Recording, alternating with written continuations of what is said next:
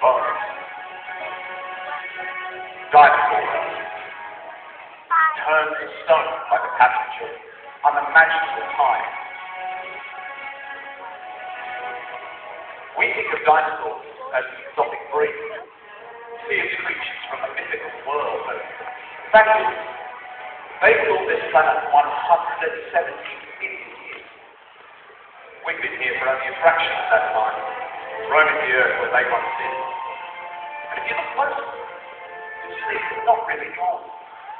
Not completely. Do you remember the raptors? The way their arms folded at the wrist? Well, the next time you're outside, you see a bird in a tree. Try and imagine it was 50 times bigger with razor sharp teeth. So do not fool the time.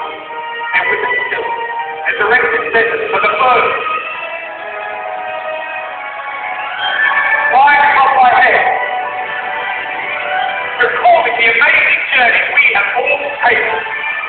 journey of what? A journey.